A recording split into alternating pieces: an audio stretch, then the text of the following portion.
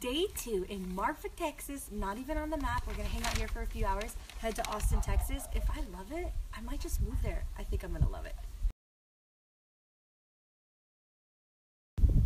I'm about a hundred miles away from your next major city.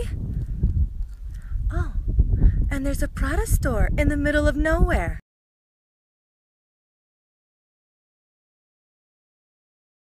Did you guys know that there's a Prada store in the middle of Marfa, Texas? It's an art Super cool, kind of eerie. Check it out. We're in West Texas. So I got this instead of a 40 at the gas station. Have a look at that ingredient list. It is gnarly. Making my way across the state of Texas. It's so much desolate land and all these little towns that pop up. A little bit like Texas Chainsaw Massacre. We made it to Austin. We are staying in the coolest place. This place is fucking rad. It is an Airstream. Why stay in a hotel when you can stay here?